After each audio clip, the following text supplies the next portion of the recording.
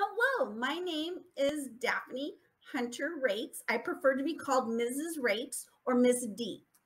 Um, I teach American Sign Language 1 and 2 as a Colton Redlands Yucaipa Regional Occupational Program teacher at Redlands High School. I've been here for seven years and I love teaching ASL because of the interest I have from the students, whether or not they want to take it as a CTE class or just satisfy their foreign language requirement. So that makes it really interesting.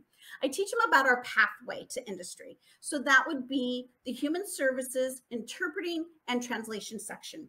The different jobs that you can get there is ASL interpreting, an ASL teacher, a deaf community um, advocate, or any major of their choice. If there's people, there's language. And if they're in a deaf concentrated area, there's going to be a demand for their ASL.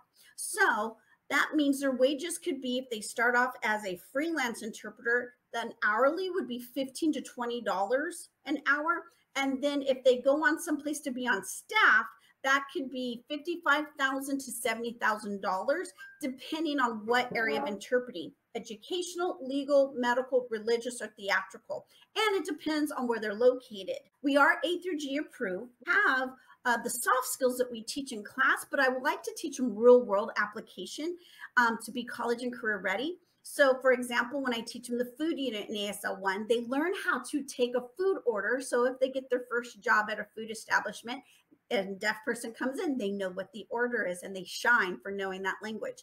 If they're in ASL 2, they do a cooking show, again, reiterating their food signs.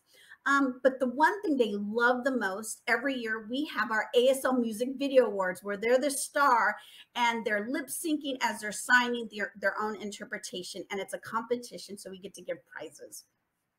We do have an ASL club, but right now it's currently on hold with um, with the distance learning and everything, but we still have deaf people come in, those that are hard of hearing, that were born deaf, those that later became deaf, those that have hearing aids or cochlear implants. So they get a wide variety of what the deaf community is like and also the different jobs that work with ASL.